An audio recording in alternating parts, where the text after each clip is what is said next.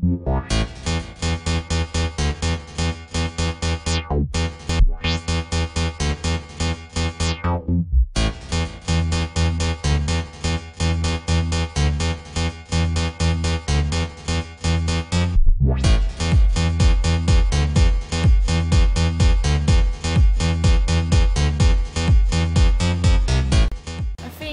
way you look at it, I think sometimes we play to our strengths and sometimes we try and look to play a way that we feel that we can win the game, such as teams like Arsenal and Chelsea. We didn't really play how we play normally, but it, we got results at the end of it. So I think sometimes we play the way that I would like to play and other times we don't, but it just depends on what the manager thinks best for the team. Really.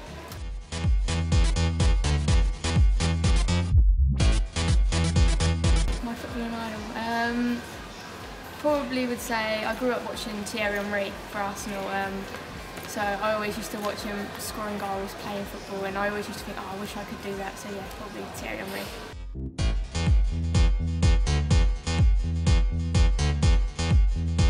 I started playing football when I was really young, so I used to go up to the park with my brother, go play football with the boys, so probably when I was five, six, and then I joined Reading when I was eight. So I've been with Reading all the way through the Centre of Excellence, and then I've started for the women's when I was 16, so thrown straight into the deep end.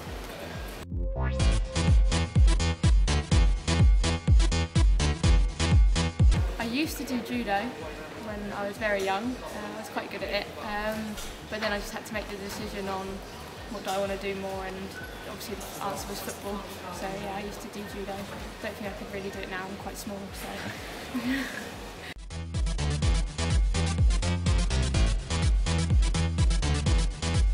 Probably one of the main goals as a team is to get promoted. I think when we sat down at the beginning of the year, we kind of said, right, this is where we want to be, this is what we want to do.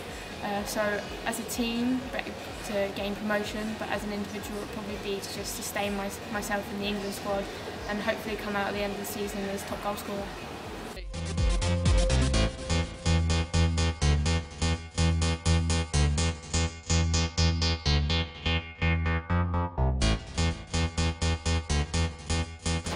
I think obviously when you're growing up you want to be playing at the best league possible so obviously I've thought about it um, but at the moment I'm just enjoying my football, I'm loving being around the girls and the club and if that time comes, whether that's with Reading or not, then that time comes but obviously as you're, as you're young and you're growing up you want to play at the highest level so of course I want to play in the biggest level.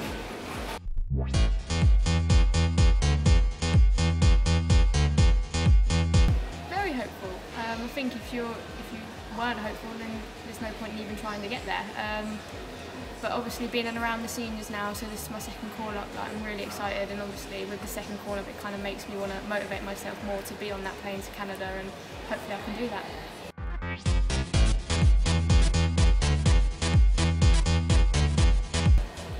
I think with the squad we have, I think we've got loads of potential. I think with obviously the friendly against Sweden next week, I think it's going to be a massive game and that's just going to kind of show where we are at. And um, obviously they didn't do very well in the Euros, so hopefully we can kind of show ourselves a bit more and show how good we are and the players that we've in the squad to actually progress far in Canada and hopefully maybe go all the way.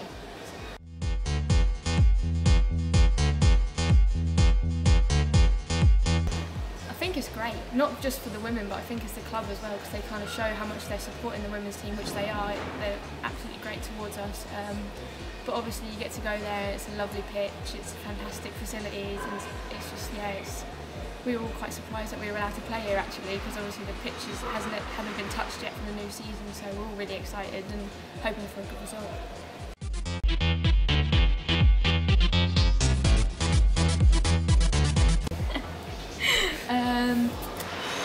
Favourite cheese is Cathedral Mature Cheddar, grated on the pasta.